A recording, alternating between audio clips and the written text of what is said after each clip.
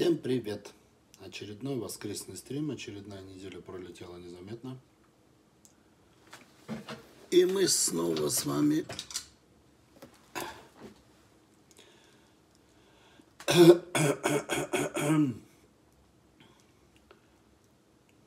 ждем, когда соберутся люди.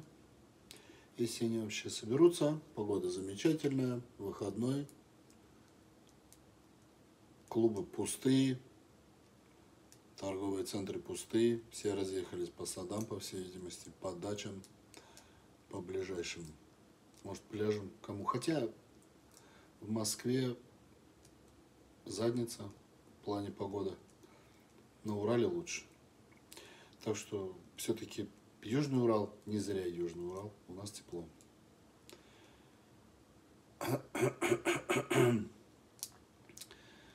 Ну, пока народ собирается, и ненадолго. Я прям долго не буду. Сегодня говорить особо нечего, новостей нет, или я за ними не следил. То, что я увидел, вот, меня э, рассмешило. Это э, у нас Вагнер начал клянчить награды. В, в очередной раз они э, отчитались о героической победе над Бахмутом. Я не знаю, сколько там десятков э, тысяч людей проживало до этого. Сейчас этот город-призрак, я думаю, его сравняли весь с землей, но при этом наша доблестная армия, чтобы их не оскорблять, конечно, 8 месяцев захватывал этот населенный пункт. И это фейком назвать ну никак нельзя. И при этом, до этого, если вы помните, был э, соседний какой-то, как он назывался-то, господи, забыл. Что-то там с солью было связано точно так же. Ну там вообще что-то, тысяч 15-30, по-моему, населения было. Этот чуть побольше. Артемовск. Но это жесть, конечно. Ну, в общем, героически захватила наша доблестная ЧВК «Вагнер» этот Бахмут. Теперь они, значит, э, собираются оттуда уходить, оставить там Министерство обороны – Вообще удивительно, я слушаю украинцев еще, их, конечно, так же тошнотворно слушать, как и наших пропагандонов, э, один в один. Вот они, они сейчас на полном серьезе обсуждают тот вопрос, что вот, да, вот они сдали, а сейчас они отошли, а там вилку раздвинули, разогнули, согнули. А, и вот они свою конспирологию там вводят, что вот украинцы позволили, позв, позволят сейчас выйти там этим пригожинцам там зайти этим, чтобы потом сделать вот это, чтобы потом вот, вот это. То есть, ну ладно, я не буду погружаться в это, реальная блевотина. Я посмеялся над чем. Вагнеровцы требуют наград теперь. А, значит, э, я обращение, видеообращение, но это не просто видеообращение. Сто процентов ни, ни один упырь, который там бегает э, с автоматом, не будет просто так записывать какое-то видео. При этом, конечно, они маски напялят, очки наденут, шапочки напялят, все полностью рожу свою спрячут и, и угрожают там депутат, угрожают всему миру. Вообще всем угрожают, но рожи при этом прячут, на всякий случай. Я понимаю, конечно, что все это по команде делается.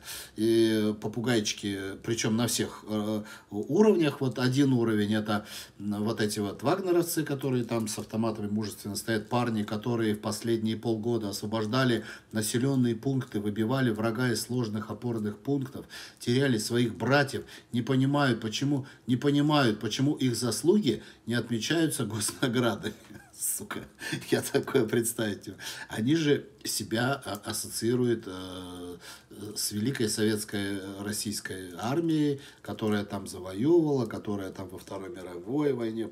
Вы можете себе представить вот эту блевотину, чтобы какое-нибудь подразделение где-то там героически повоевало, что-то там захватило, там какой-нибудь город, да, и потом такое запись такая главнокомандующему, видео такое общее обращение – а чего нам награды не даете? А почему вы непонятно кому не даете? Причем это на всех уровнях. Сейчас вот я еще наткнулся, а, а, был такой блевотный депутат э, Андрей Ковалев, но я, я подозреваю, что он просто очень богатый человек, потому что он и песни записывал, там и клипы писал, и везде встревал во все абсолютно помойки, то есть там где-то чеченцы подрались с каким-то блогером, и он на уровне там депутатского запроса, они в ресторане где-то там встречаются, при, при, при, примеряют, там, то он байкер, там, то еще кто-то. Вот сейчас этот Ковалев а, поздравил, э, значит, этого Пригожина и предложил его наградить. Ну, то есть, надо, надо их достойно наградить. И причем это как бы такая, ну, вброс такой, массированный такой. Давайте нам награды. Мы заслужили. Сука, мало того, что это частная военная компания, а, которая незаконно на, в России просто запрещена. Ну, то есть это такое вооруженное ОПГ такое. Мало того, что им бабло какое-то немеренное платят, мало того, что их собирают отовсюду, так эти честные пары, то есть абсолютно со всех помоек, это вот, ну, вы, вы слышали, наверняка и слышали, да, убийцы там, расчленители там, мародеры, там, хрен, я не знаю, кто, кого там только нет. Их всех туда собрали, и теперь еще требуют, мало того, что их амнистируют без вообще каких-либо э, учетов, что они когда-либо имели судимость, так вы еще, сука, нам награду дайте. А вы представляете, сколько лет, сейчас уже дофига в интернете этих а, примеров, сейчас сколько лет они еще будут терроризировать местное население, вот эти в очередях там, когда-то, как когда-то пьяные там афганцы или чеченцы, вот это, да я кровь проливал за свою родину, а вы тут, ну-ка дайте мне водку без очереди. Вот эта вот херня начнется. Вообще, это что-то жуткое. Что-то жуткое, что происходит. Дайте нам награды. Нет, ребята, я не гордый, я согласен на медаль. Привет. Одинцову привет, Тольятти привет.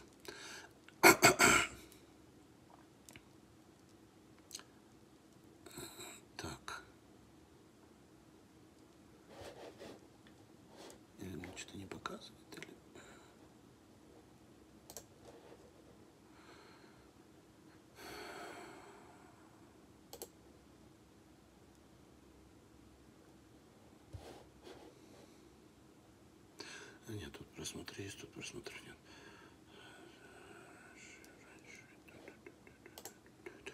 С каждым разом все раньше и раньше. Так. Я вопросы почитаю. Их тут немного, но уже прочту. Ребята спрашивают. Это чисто спортивный. Здравствуйте, Андрей. Скажите, есть ли для вас разница между инантатом и сустаноном? Вроде как сустанон больше заливает водой.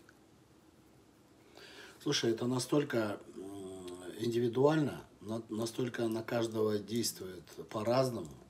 На кого-то одна таблетка метана может шарахнуть так, а кто-то может э, заколоть всю жопу и ничего не почувствует.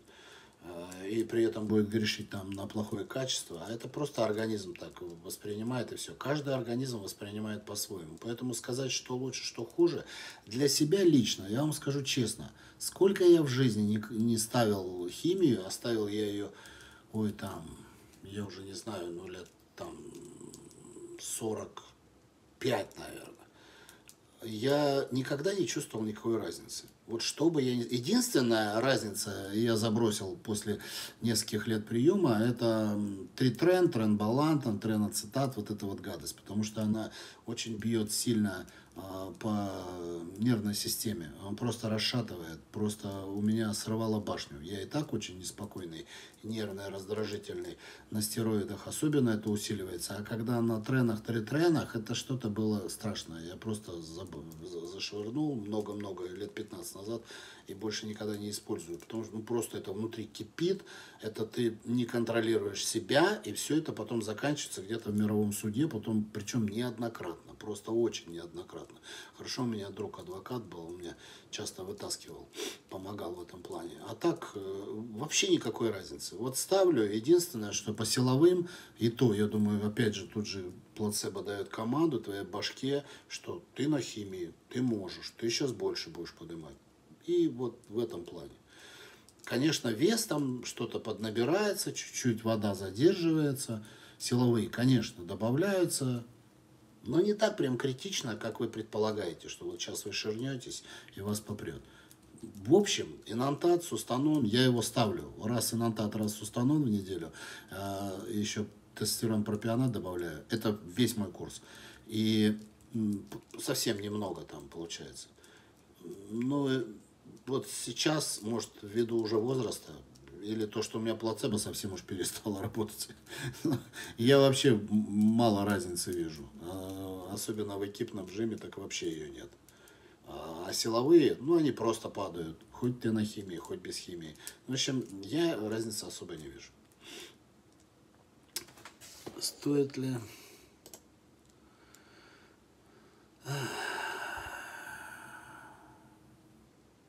Стоит ли вообще забыть о гормонах, если есть цель э, завести ребенка?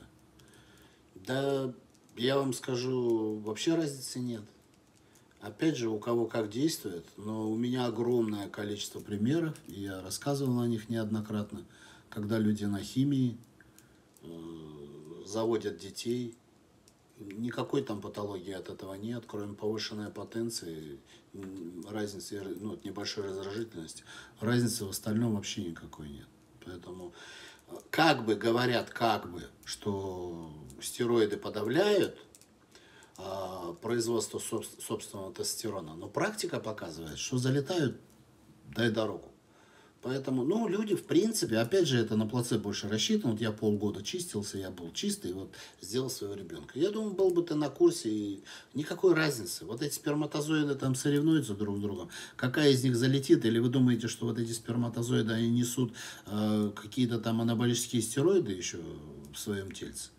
Я сильно в этом сомневаюсь. Хотя, наверное, врачи э, вам расскажу жутью, но врачи в принципе говорят о том, что анаболические стероиды – это цианистый калий. Хотя, по сути, это лекарство, которое продается во всех аптеках. Другой вопрос – для чего? И другой вопрос – для чего его запрещать? Совершенно непонятно. Вреда от него точно никакого нет. Может быть вред от коктейлей, может быть вред от перед, э, передозировок, от того, что вы в себя вхреначиваете. Ну так это можно Э, к любому продукту отнести. Как-то вот так.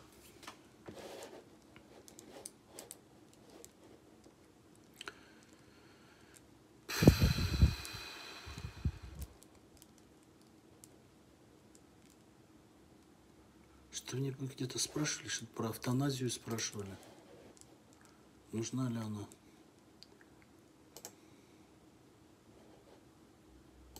Я думаю, что да, нужна.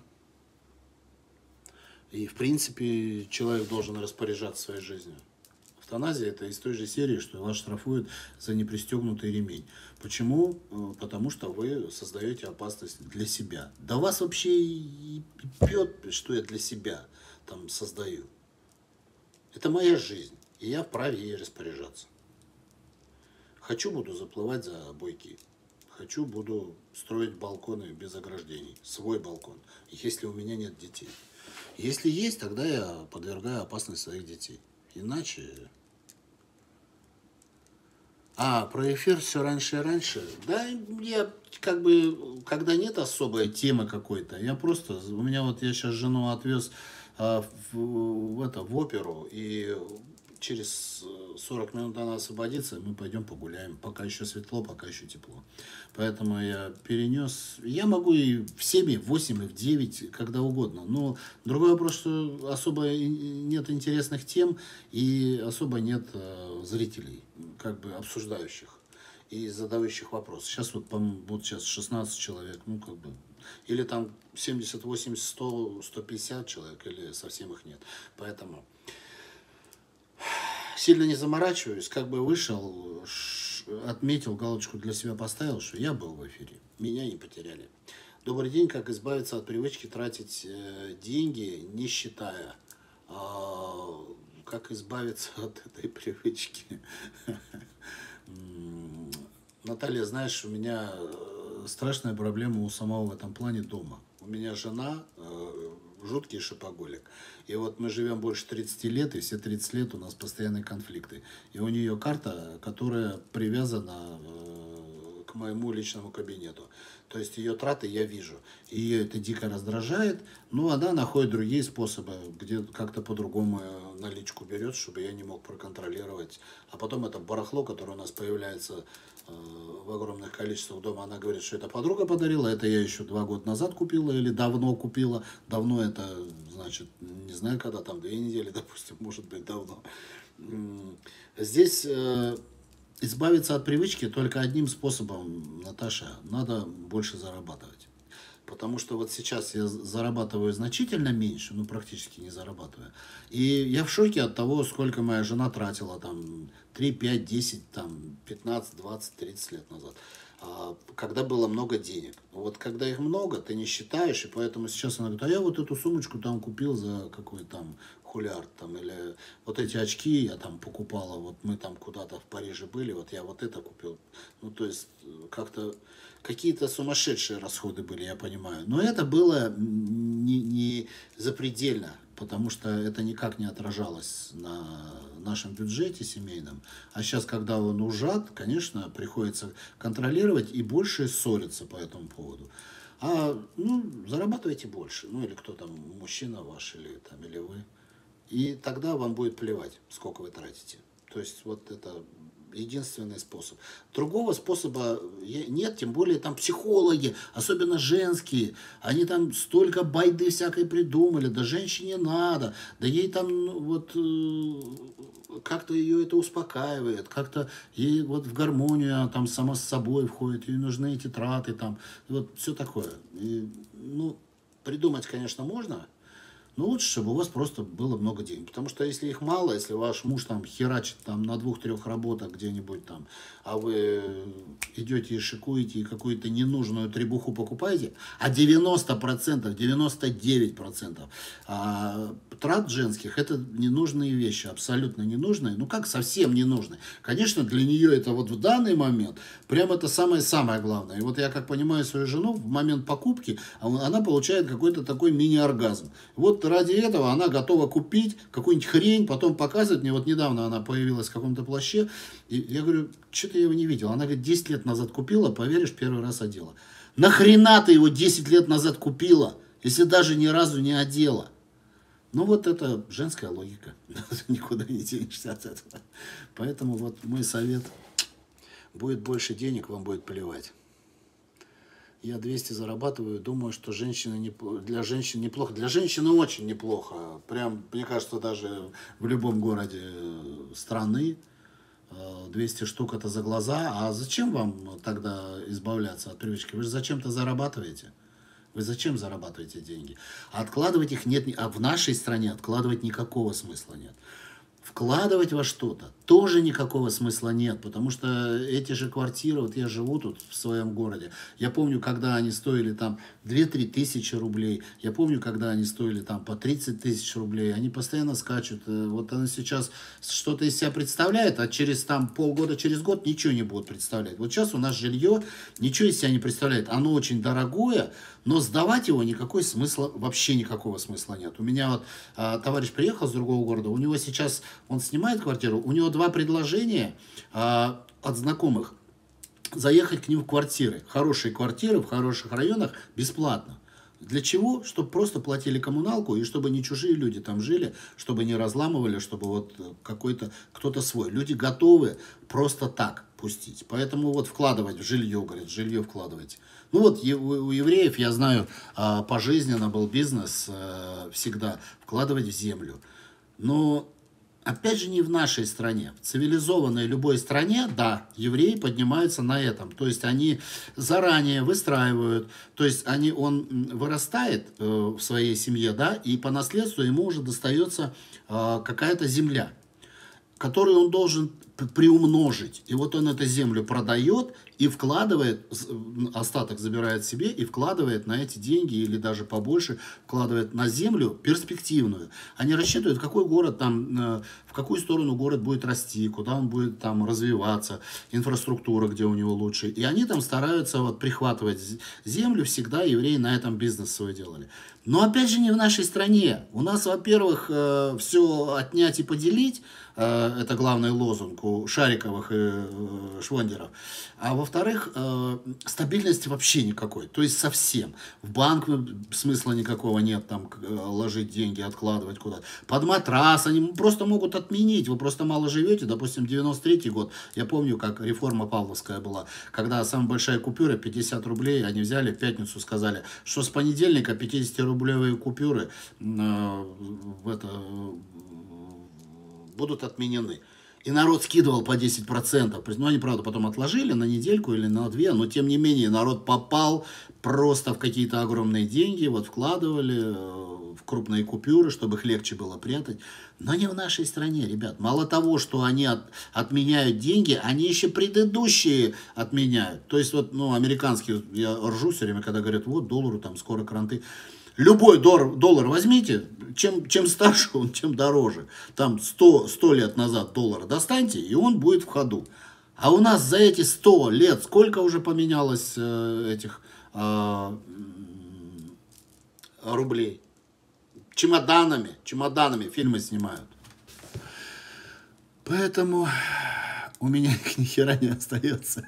Так это хорошо. Радуйтесь, что ничего не остается. Ну и слава богу, вообще зачем заморачиваться? Я же говорю, откладывать смысла никакого нет. Спортивный вопрос, сильно ли помогают ноги при жиме лежа.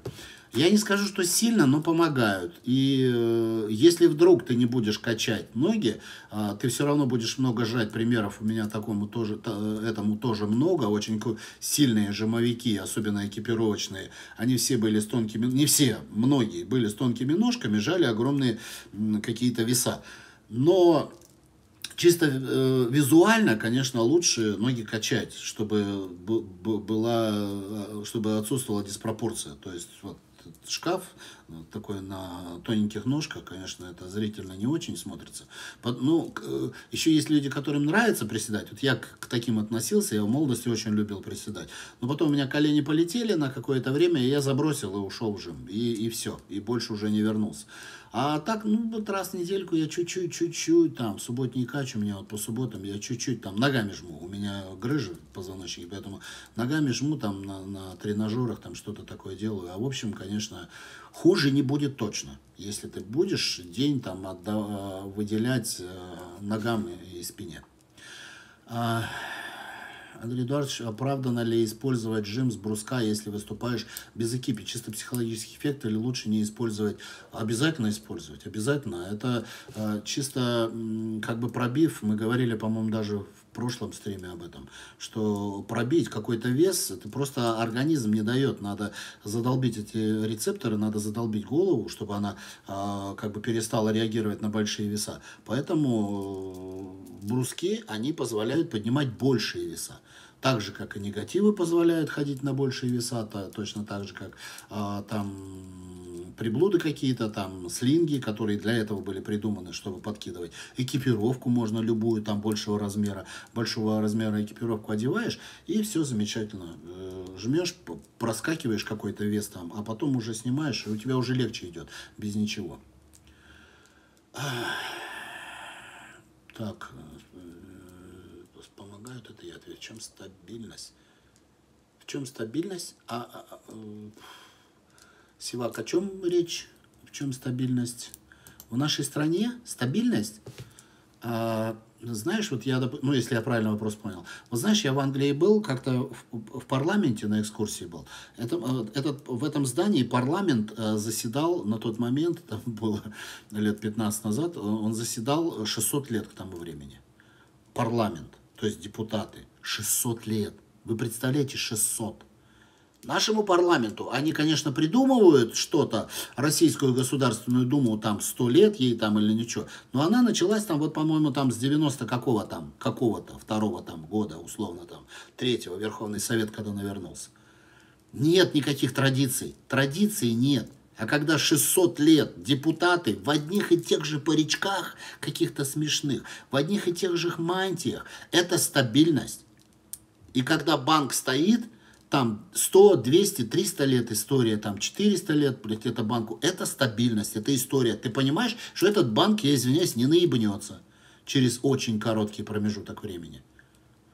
А у нас кто у власти сейчас, кто будет через э, там три года, через пять лет, какой строй вообще, будет ли вообще эта страна. У нас постоянные катаклизмы, постоянно бурление происходит, постоянно что-то расшатывание, постоянно что-то у нас там... Это и называется отсутствие стабильности. А, и, как раньше нам говорили, а, наш человек отличается уверенностью в завтрашнем дне. Вот у нашего человека уверенности в завтрашнем дне вообще ни хера нет. И никогда не будет. У меня такое подозрение. Тем более, что дальше. Привет, Кинешме. Будет только веселей. Привет сварщикам из Красноярска. Стабильность в экономике? Да, ну, ну какая стабильность? Ну какая стабильность? Когда есть вопросы, на которые даже человек ответить никогда не может и даже их не задает. Допустим, вот сейчас мы, я жену ночью забирал с аэропорта, ехала, она или, или показалось, или я, честно говоря, не смотрел, потому что я на газу езжу. Она говорит, дизель 57 рублей. Вот какой нормальный человек может объяснить, почему соляра полтора раза дороже обычного бензина, если она дешевая. Это же настолько простой вопрос.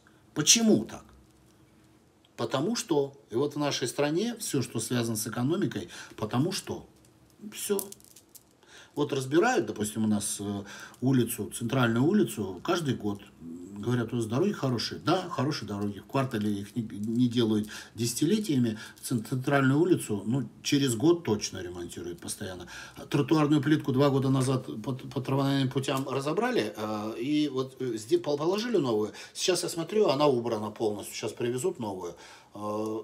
Это коррупция. Это экономика наша. Вот она на этом строится. Э, чтобы просто заработать денег. Вот э, в рабочем городе э, у нас э, парк притяжения строится. Вы себе даже представить не можете. Я вам честно говорю. Вот это вот, как он называется, в Москве какой-то был тоже возле, где там снесли гостиницу «Россия». Как-то он тоже этот парк называется. Так вот он отдыхает по сравнению с тем, что делают у нас. Я вам клянусь, рабочий город – стоит хрень. Ну, мне, правда, друзья говорили еще лет семь назад, что Путин нагнул Рашникова, нашего местного олигарха, и тот пообещал 10 ярдов долларов валить. Ну, и будет какой-то европейский, нам тогда рассказывали, мы не верили, что такое европейский парк. Я вам расскажу, что такое. Это 40, по-моему, 40 гектар, я врать не буду, может, может больше, наверное.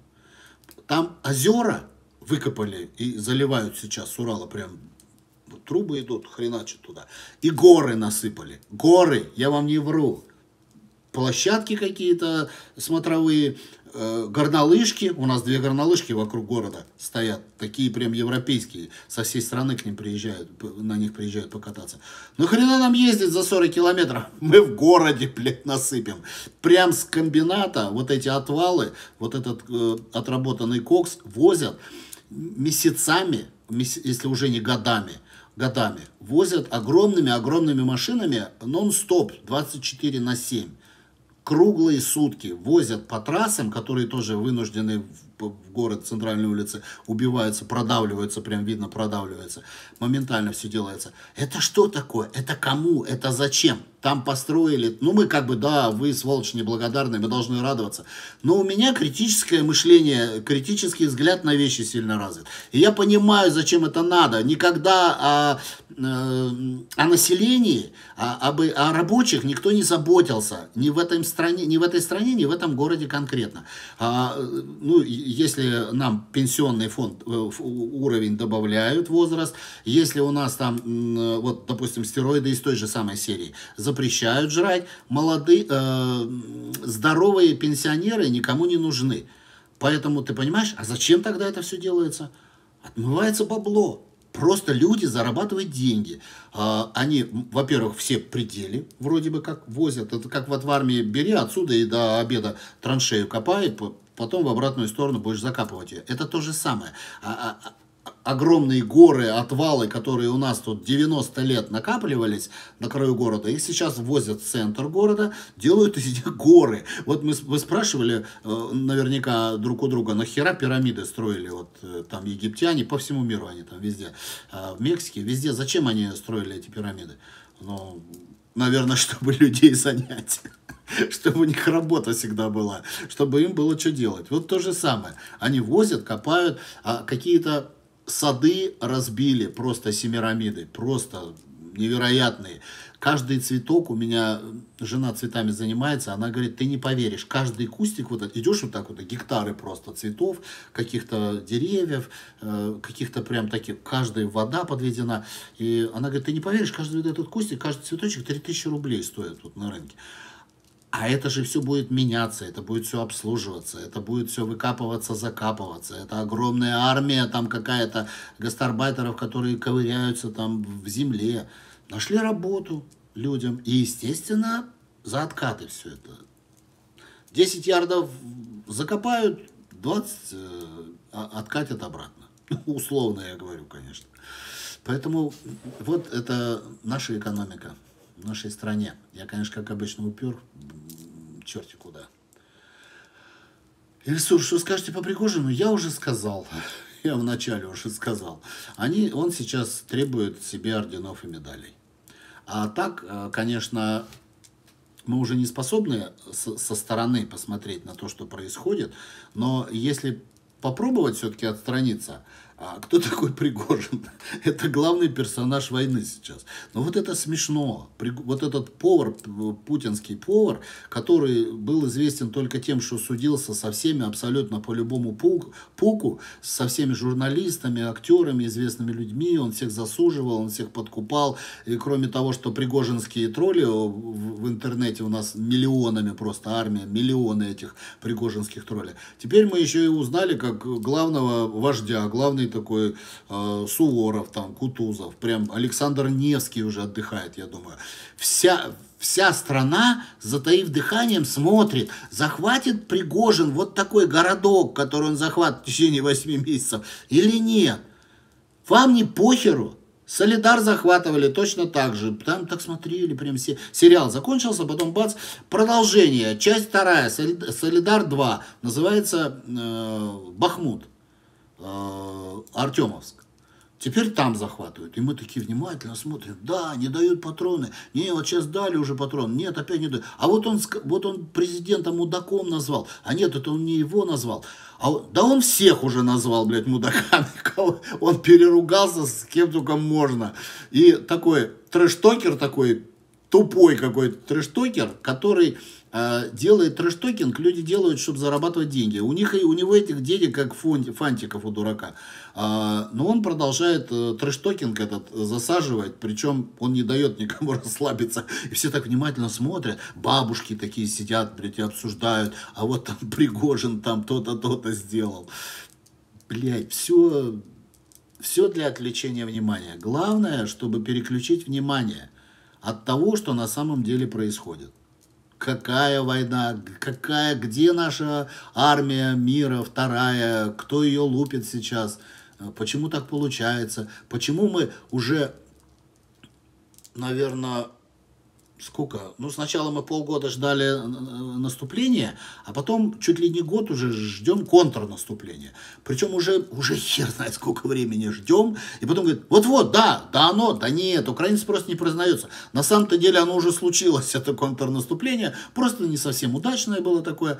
Че за война тупая? Что происходит вообще? Какого хера у нас линия на тысячу километров фронта, а захватывают какой-то один вот такой вот там э, несколько тысячный городок, который уже стерли практически там э, с лица земли.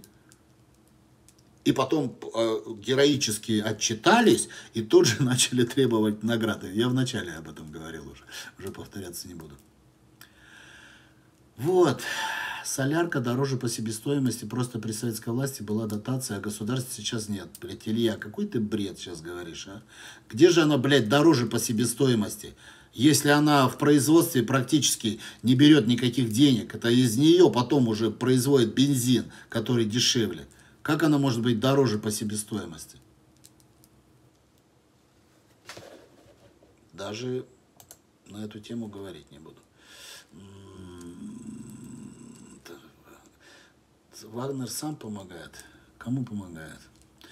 Сейчас быть патриотом – одна из стратегий ведения бизнеса.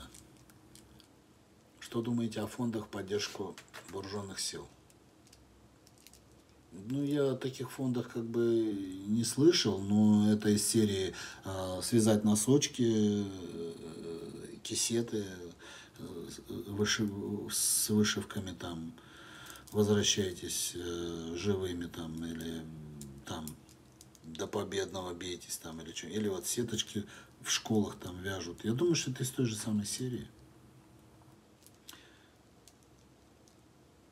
А то, что это а патриотизм одна из стратегий, ну, как бы, я в прошлый раз говорил, что они сейчас, а, у них одна из стратегий пробраться в политику, это сейчас засветиться на фронте, допустим, а, каким-то образом, даже просто за бабки, даже не, не заезжая туда, на линию соприкосновения, как там он, Минеев, там, или там сын Пескова, там, или, ну, и до хрена там сейчас таких, которые числятся, где-то там они числятся, а потом еще медали прикупят себе и будут с медалями ходить.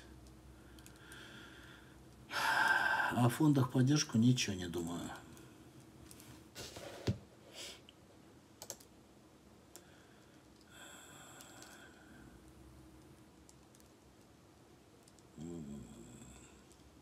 Гениально. Я, как солнце на рассвете, озарю темень ваших призрачных сомнений. Ты поэтому за главными буквами все пишешь? Боишься, что мы в темени сидим?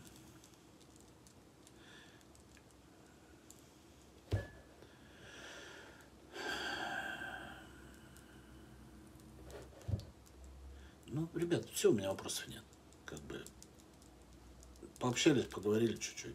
И до новых встреч. Следующее воскресенье я не знаю, что будет. У нас будет, я приглашаю на а, кто с Магнитогорска, не с Магнитогорска спортсменов тоже, э, на Кубок России.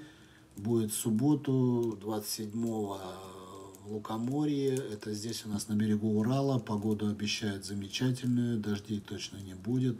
На улице там будет проходить параллельно чемпионат России по пляжному волейболу. Ну, он и в прошлом году, по-моему, там проходил где-то примерно одновременно с нами. А, я думаю, будет весело, я думаю, будет интересно, народу будет много. Всех ждем. Где-то прям часов с 10 начнем. Ну, кто долго не хочет тусоваться, часам к 12 приходите. Зрители, я имею в виду, не спортсменов чтобы не скучать. Хотя можете, спасибо, Иван, можете и волейбол посмотреть, если что. И там еще какая-то, что-то там еще какие-то гонки героев какие-то, что-то там еще планировалось. Все, ребят, всем спасибо.